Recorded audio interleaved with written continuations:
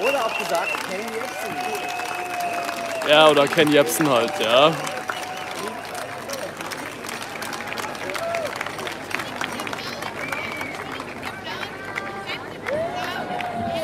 Geiles Klima. Hallo, mein Name ist Kevan Silvesea, war schon meine Zielgruppe ist die Menschheitsfamilie. Hallo. Ähm, man sagt mir nach, ich würde oft zu schnell sprechen. Deswegen habe ich es aufgeschrieben.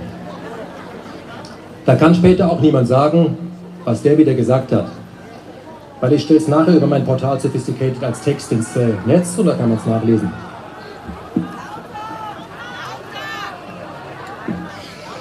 Die Bundesrepublik Deutschland ist in einem erbärmlichen Zustand. Es herrscht ein Klima des Misstrauens, ein Klima der Angst, mit seiner persönlichen Meinung nicht dem diktierten Zeitgeist zu entsprechen und damit ins Fadenkreuz selbsternannter Schergen eines selbsternannten Wahrheitsministeriums zu geraten. Dieser menschengemachte politische Klimawandel ist kein Zufall, sondern das Ergebnis einer in Thinktanks ersonnenen Agenda, die mittels Massenmedien seit Jahren konsequent umgesetzt wird. Und diese Agenda lautet, es gibt zu jedem Mainstream-Thema ab sofort nur noch eine Meinung und die wird von privaten Konzernen und extrem reichen Einzelpersonen in abgeschlossenen Zirkeln beschlossen, von der Politik verkündet und von den Massenmedien durchgepeitscht. Was ist daran demokratisch? Nichts. Mit dem Aufkommen ernsthafter politischer Konkurrenten wie China und Russland hat der Westen bzw. die USA sich von der UN-Charta verabschiedet und im Anschluss die sogenannte wertebasierte Weltordnung verkündet. Und was bedeutet das konkret? Es bedeutet, es wird, wann immer es einer elitären Gruppe passt, mit dem Ausnahmezustand regiert. Mitbestimmung ist out und Demokratie nicht mehr zeitgemäß. Der Bürger heißt nur noch Bürger, weil er für die Folgen der Machtergreifung durch den Geldadel bürgt. Im Alltag hat es Folgen, und zwar für jeden. Wer als Deutscher die ihm stets verkaufte Demokratie, das Grundgesetz, allzu ernst nimmt, dem wird so effektiv wie möglich das Maul gestopft. Und wir alle schauen zu, paralysiert und ohnmächtig. Sie, die Zuschauer selbst, sind das eigentliche Ziel dieser Jagd auf den Einzelnen, der sich nicht beugen will, Sie, die passive Masse, sollen sehen, was passiert, wenn der Einzelne nicht spurt. Bestrafe einen, erziehe Tausende. An dieser Stelle, wie kann es sein, dass im Werte Westen ein Julian Assange immer noch hinter Gittern sitzt?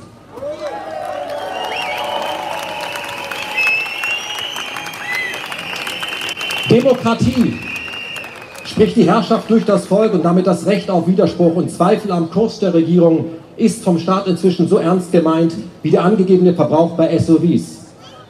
Die Gebrüder Grimm und ihre Märchen scheint man sich hier im Regierungsviertel als Vorbild genommen zu haben. Kleiner Unterschied, wer seinerzeit ein Märchen der Gebrüder Grimm nicht hören wollte, oder wer es nach dem Hören einfach als das bezeichnete, was es war, nämlich ein Märchen, bekam deshalb keinen Stress mit den Grimms. Die Grimms schickten auch keine privaten Schlägertrupps im Antifa-Look oder freidrehende Behördenmitarbeiter oder NGOs in die Spur, um den aufmüpfigen Märchenkonsument auf Linie zu bringen. Es gab damals keine Linie. Wer das Märchen hören wollte, konnte dies tun. Er konnte es aber auch lassen. In jedem Fall aber konnte er das Märchen in der Öffentlichkeit als das bezeichnen, was es war. Ein Märchen der Gebrüder Grimm. Und er konnte darüber hinaus, gut oder schlecht, es finden. Und zwar öffentlich. Das hatte keine Konsequenzen.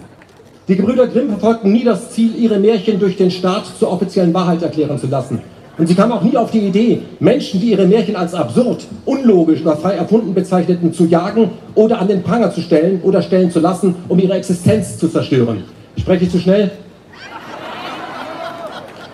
Das ist heute im besten Deutschland aller Zeiten vollkommen anders. Nur dass man diese Form der politischen Verfolgung perfider verpackt. Der Staat spricht von Fake News oder Verschwörung, wenn der Bürger dem Staat und seiner staatstreuen Presse nachweisen kann, wie diese die Wahrheit offensichtlich und damit mit Vorsatz verbiegt oder durch Weglassen von Realitäten vollkommen verzerrt.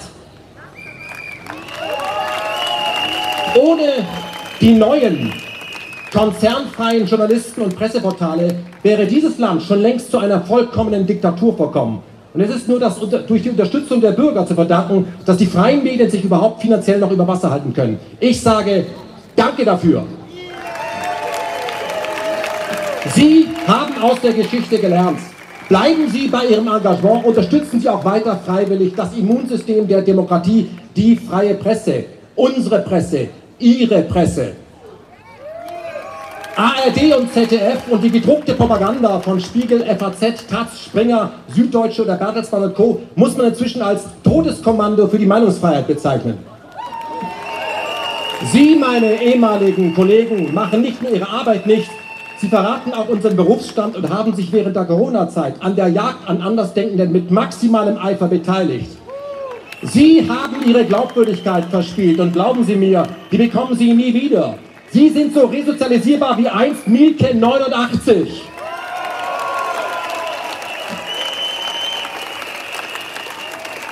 Kommen wir zu unserer sogenannten Regierung. Eine Truppe, die es geschafft hat, nur mit einem Kleinhirn ausgestattet, Ministerposten zu erobern. Unsere Regierung erzählt auf immer mehr Gebieten seinen Bürgern ein Märchen nach dem anderen und verlangt dann aber nicht nur, dass die Bürger diesen offensichtlichen Blödsinn glauben, sondern offiziell und laut auf öffentlichen Plätzen nachbeten. Wer das nicht tut und es wagt, sich auch weiter eine eigene Meinung zu bilden, bekommt so lange keine Probleme, solange er diese Meinung in seinem Mobiltelefon auf dem Klo spricht. Sobald er diese Aufnahme dann aber ins Netz stellt und dabei Reichweiten erzielt, also Einfluss gewinnt, gerät er ins Fadenkreuz dieser bildungsfernen Politiker. Er wird als Verschwörungstheoretiker bezeichnet, Ihm wird vorgeworfen, entweder für eine ausländische Macht zu arbeiten oder aber er hätte das Ziel, die öffentliche Ordnung und den sozialen Frieden zu stören. Meine Damen und Herren, auf der Regierungsbank, Sie arbeiten für eine ausländische Macht. Sie zerstören den sozialen Frieden in diesem Land. Sie hüpfen vor den USA, als wäre es das Ende des Zweiten Weltkriegs erst vier Jahre her. Sie machen das alles dass wir seit fast 30 Jahren offiziell wieder ein nicht besetztes Land sind, scheint ihnen entweder in Gang zu sein oder sie sind nicht glücklich damit. Denn sie hassen Deutschland, weil sie unfähig sind, echte Verantwortung zu übernehmen. Sie leiden unter Demokratieintoleranz und sie sind autoritätstüchtig. Es macht ihnen nichts aus, dass Deutschland von den USA immer noch wie ein 53. Bundesstaat behandelt wird. Sie, werte Regierung, haben keine echte Wertschätzung für unser Nachkriegsdeutschland. Sie haben keinen Respekt für die Aufbauleistung der Nachkriegsdeutschen. Sie können mit Patriotismus nichts anfangen, denn sie sind mit ihrer linksgrünen konservativen Ideologie, die im Kern null mit Grün und Links zu tun hat, nur Vertreter einer entwurzelten Generation, die Heimatland, Muttersprache, Familie für ein Zeichen brauner Vergangenheit hält und alles dafür tut, um eine Gesellschaft zu etablieren, die vorgibt, keinerlei Grenzen mehr zu kennen. Sie sind aber reine Theoretiker. Und in der Praxis sind sie von ihrer persönlichen politischen Karriere vor allem gescheitert. Sie versprechen vollkommene Freiheit. Aber wer der Bürger möchte diese, ihre Freiheit nicht haben? Dann ist ab sofort Schluss mit Regenbogentoleranz. Und Rot-Grün zeigt gemeinsam im Farbtopf seine wahre Farbe, nämlich braun. Kapitalistisches Braun. Der Herbst der Demokratie, den Sie eingeläutet haben, endet in einer Diktatur permanenten Winters. Die neue Einheitsjahreszeit, die hat schon begonnen, seit in der BRD normales Heizen in die Privatinsolvenz führt. Wer heute von seinem Grundrecht Artikel 5 Gebrauch macht und seine ganz private Meinung reichweitenstark äußert, dem wird die Delegitimierung des Staates vorgeworfen. Immer mehr abweichende Meinung wird in Deutschland ein Fall für die Justiz. Das betrifft immer mehr Themen, zu denen inzwischen immer noch nur noch eine Meinung existiert, und zwar die Meinung der Regierung. Ein paar Beispiele zu den offiziellen Wahrheiten, die so wiedergegeben werden müssen, will man keine Post bekommen. Erstens, die NATO-Osterweiterung hat nichts mit den Problemen zu tun, die Europa inzwischen mit Russland hat. Man kann hier auch lachen, wenn man möchte. Gentechnik, vor allem in der Medizin, ist gut und bringt ein vollkommen zu vernachlässigendes Risiko. Wer Rüstung in Kriegsgebiete liefert, fördert den Frieden. Die Sozialsysteme der BED sind nicht überlastet. Staatliche Grenzen sind obsolet. Es gibt, für nichts und niemanden Obergrenzen, außer für CO2.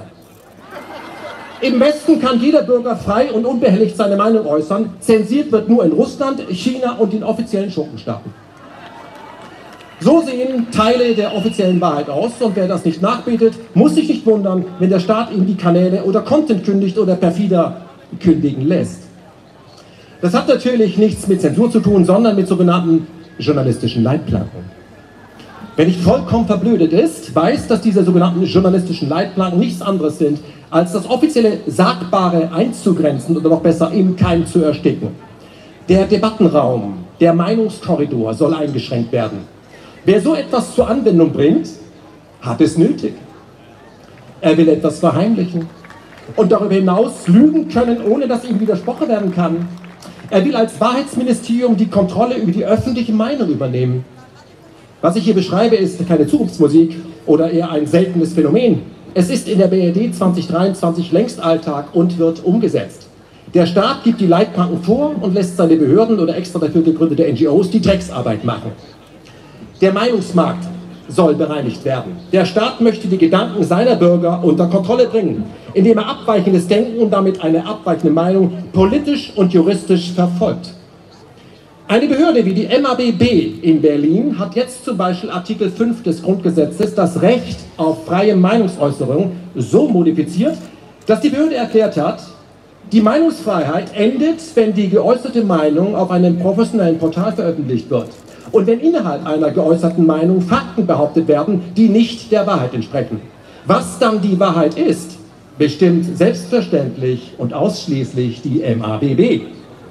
Wenn die MABB beschlossen hat, dass die neuen Corona-Impfstoffe keinerlei gravierende Nebenwirkungen haben, dann ist das die offizielle Wahrheit, das offizielle Narrativ. Ein Narrativ für Narren. Und wer hier als Bürger mit oder ohne Presseausweis widerspricht und seinen Widerspruch über ein professionelles Portal verbreitet, bekommt Probleme mit der Justiz. Übermorgen wird er zu einer Geldstrafe verknackt, wenn er seine Meinung statt über ein professionelles Presseportal einfach über seinen privaten YouTube-Account oder Facebook verbreitet und damit mehr als 500 Personen erreicht. Oh Gott. .com. In Deutschland drehen die staatlichen und privaten Zensurbehörden inzwischen frei und versuchen, der Stasi Konkurrenz zu machen, nur mit deutlich effektiveren Methoden der totalen digitalen Überwachung. Meinung darf in der BRD 2023 nicht mehr faktenfrei sein, so die neue Willkürbestimmung staatlicher Zensur. Damit ist die Meinungsfreiheit tot. Denn wer der aktuellen Wahrheit widerspricht, muss es sich finanziell leisten können. Natürlich ist auch eine freie Forschung und damit Fortschritt nicht mehr möglich, denn wer übermorgen zu neuen Erkenntnissen kommen möchte, muss die Möglichkeit haben, die bis dato geltende Wahrheit obsolet zu machen, ohne dafür bestraft zu werden. Wer nur noch bestätigen darf, was als Wahrheit gilt, der produziert Stillstand und sorgt dafür, dass das eigene Land abrutscht auf allen Gebieten. Und exakt das erleben wir seit geraumer Zeit in der BRD. Das soziale, geistige und wirtschaftliche Abrutschen einer ganzen Nation ermöglicht durch Denkverbote und das Verteilen von Maulkörben, die im großen Stil von unseren Massenmedien an Kritiker des Kollisionskurses der Regierung verteilt werden. Man kann das in einem Satz zusammenfassen. Wir leben bereits im Meinungsfaschismus. Der Meinungsfaschismus ist der wesentliche Baustein des faschistischen Staates selbst und die Massenmedien sind dabei damals wie heute Steigbügelhalter. Sie vertreten nicht den Souverän, sondern die Anzeigenabteilung, Konzerne und Interessen, deren Interessen. Bürger, die aus Angst vor Repressalien lieber die Fresse halten, als laut Einspruch zu brüllen, wenn der Staat immer mehr Grundrechte kassiert und den frei denkenden Bürger zum Feind erklärt, enden wie unsere Großeltern und die wurden vor allem durch die Propaganda gefügig gemacht.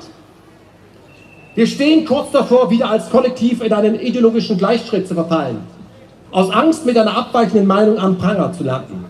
Welche Meinung zu welchem Thema die richtige ist und gegen den Bürger durchgedrückt wird, wird aber nicht vom Staat oder von Volksvertretern entschieden, sondern von global agierenden Konzernen und obszön reichen Einzelpersonen mit ihren Multimilliarden über Jahre ein enges Netz der Korruption gesponnen haben. Das ist Korruption!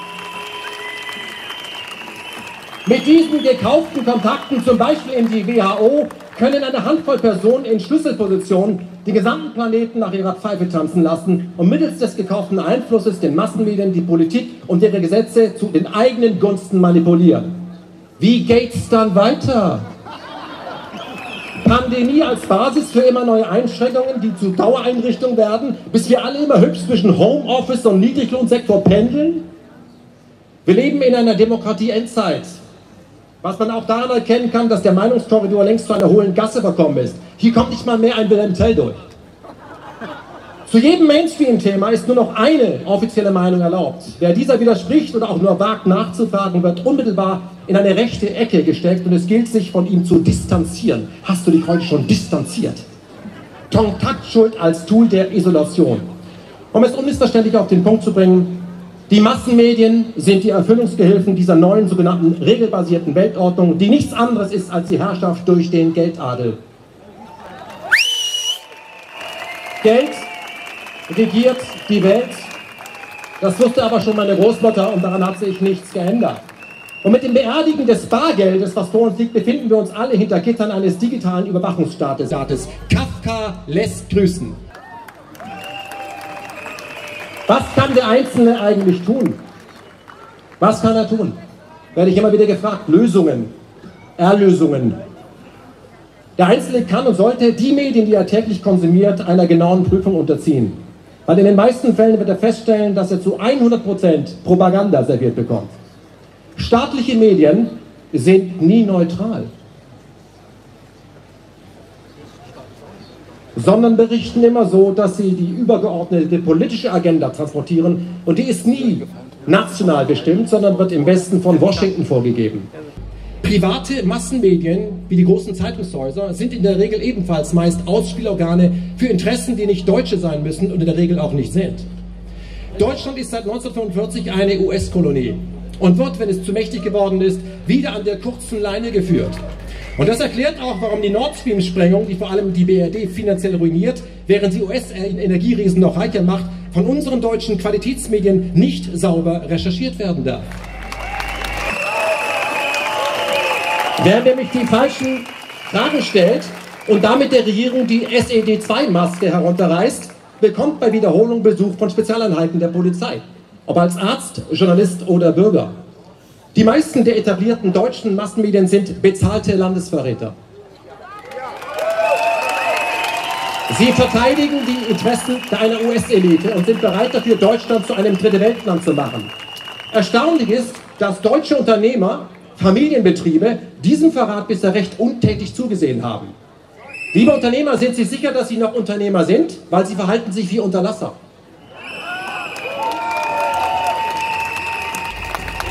Persönlichkeiten wie Wolfgang Grupp, der Chef von Trigema, sind in diesem besten Deutschland aller Zeiten so selten wie ein fehlerfreier Satz von Annalena Baerbock. Grupp lebt als Unternehmer Familiensinn, soziale Verantwortung für seine Belegschaft und lebt für seine Heimat. Wenn Grupp statt Habeck das Wirtschaftsministerium führen würde, wäre dieses Land deutlich besser dran.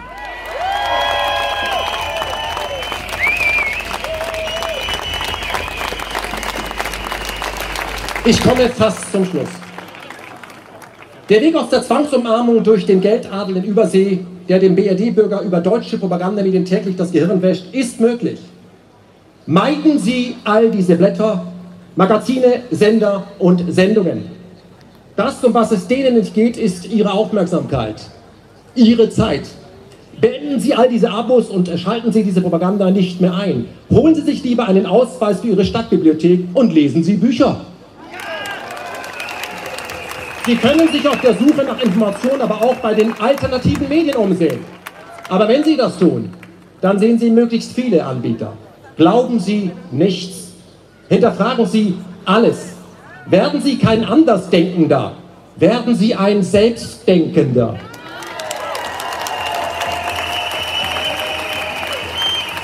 Die Wahrheit, die Wahrheit in einer Demokratie, die gibt es nicht. Es gibt nur Ausschnitte. Wenn Millionen Bürger anfangen, über XXL Medien sich ihre Meinung selber zu bilden, kommen wir im Kollektiv der Wahrheit am nächsten. Über Millionen Einzelmeinungen. So funktioniert Demokratie. Jede Stimme, jede Meinung zählt. Sie ist Teil eines Ganzen. Das ist Demokratie. Unterstützen Sie die Medien, die Sie konsumieren, mit einem Dauerauftrag und meiden Sie die Propagandasender und Gazetten, indem Sie sie konsequent ignorieren. Lassen Sie sie links liegen. Lassen Sie im Kollektiv diese Landesverräter pleite gehen oder sorgen wir durch Ignorieren dafür, dass die Einschaltquoten ins Bodenlose fallen. Holen wir uns nicht unsere Demokratie zurück, sondern errichten wir endlich eine Demokratie. Und zwar durch Widerspruch, Eigeninitiative und die Einführung direkter Demokratie. Betteln wir nicht darum, tun wir es! Medien, die nichts Besseres zu tun haben, als die Gesellschaft zu spalten und die Diskussion der Blöcke untereinander zu boykottieren, sind demokratiegefährdend und gehören entmachtet. Und unsere Macht besteht darin, diese Täter ab sofort komplett zu ignorieren.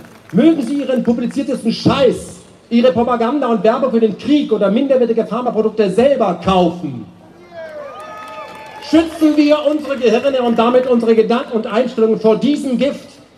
Deutschland muss entgiftet werden, indem diesen Medien der Stecker gezogen wird. Friedlich, aber konsequent.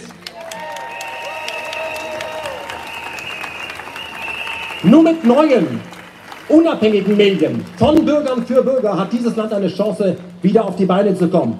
Zum Beispiel endlich eine eigenständige und vor allem friedliche Außenpolitik.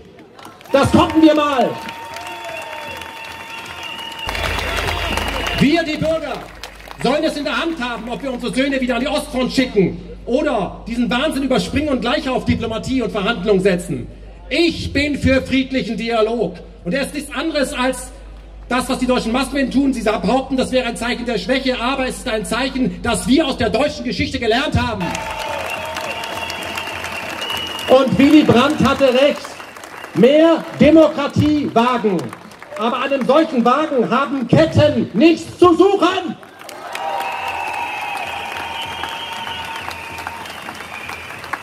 Jedes Kind bekommt bei seiner Schulhochprügelei beigebracht, Gewalt ist keine Lösung, außer für die Rüstungsindustrie.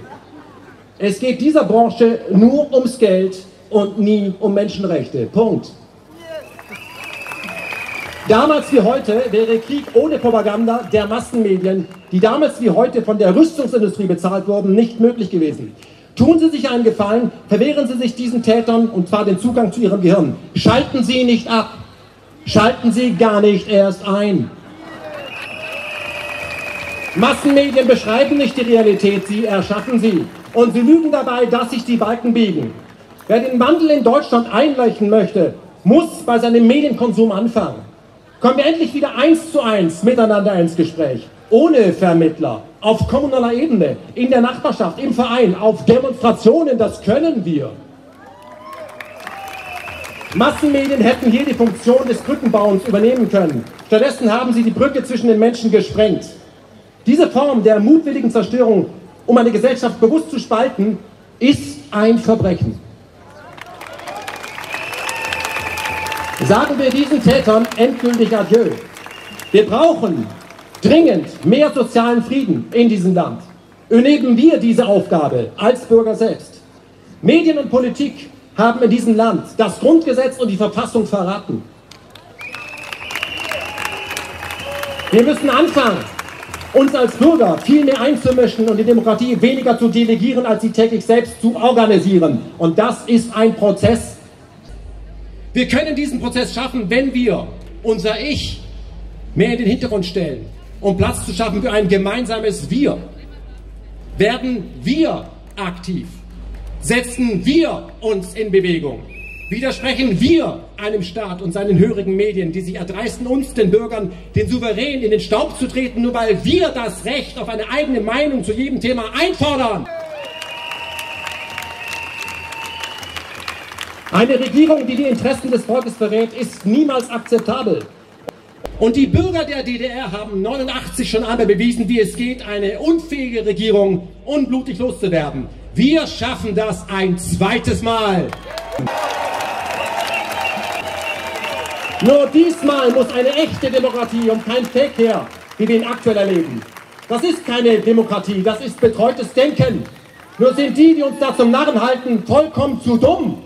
Oder anders gesagt, wir, die Bürger, sind trotz der permanenten Propaganda noch immer nicht alle komplett verblödet, sodass uns dieses lächerliche Postenspiel längst aufgefallen ist. Danke an dieser Stelle an die Ostdeutschen. Ja! Danke an Ostdeutschland!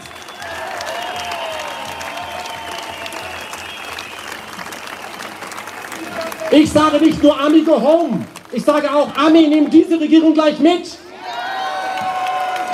Ihr in Übersee einen Job bei McDonalds. Mögen Baerbock und Co. in Zukunft Burger statt Bürger verkaufen. Frau Baerbock wird den Unterschied nicht bemerken. Wir, die Menschen in diesem Land, kennen ihn sehr wohl. Es wird Zeit, dass wir unsere McDonalds-Parteiensysteme überwinden und stattdessen Fett und Zucker endlich gesunde geistige Nahrung zu uns nehmen. Und das geht nur, wenn wir endlich den politischen Warenzugang kontrollieren, das Personal selber stellen, das für Zeit für uns entscheidet. Und einer Ricarda Lang möchte ich zurufen, wenn Sie sich ständig um das Klima Sorgen machen, zu viel heiße Luft, dann sollten Sie sich äh, bei sich anfangen. Produzieren Sie selber weniger heiße Luft, indem Sie einfach weniger Talkshows besuchen. Es ist zudem unfreiwillig komisch, wenn Sie ständig von der großen Dürre faseln, die uns alle umbringen wird, während Sie selber ziemlich dick im Geschäft bleiben, indem Sie Alarmismus predigen. Sie, Frau Lang, sind ein Zeichen der Zeit, eine gescheiterte Existenz, die im Bundestag ihre Unbildung zur Schau trägt auf Kosten der Steuerzahler.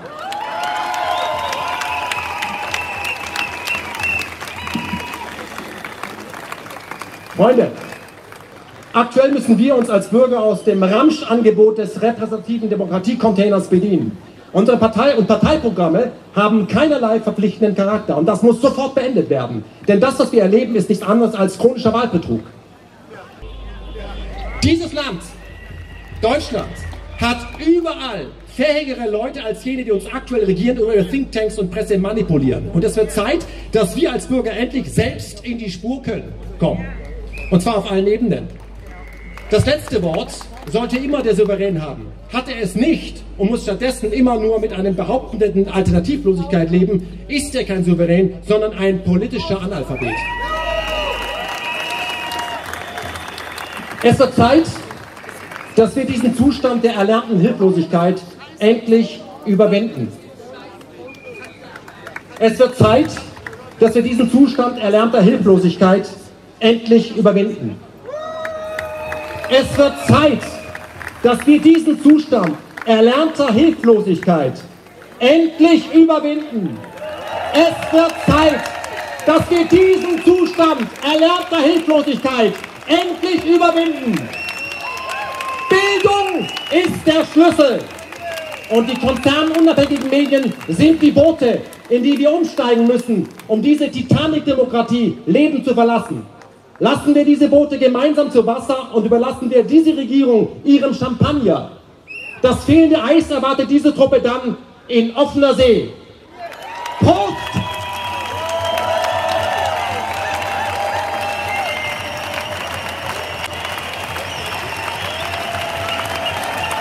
Mein Name ist Peter Tubesiabasch und meine Zielgruppe bleibt die Menschheitsfamilie. Ich gehe hier nicht weg.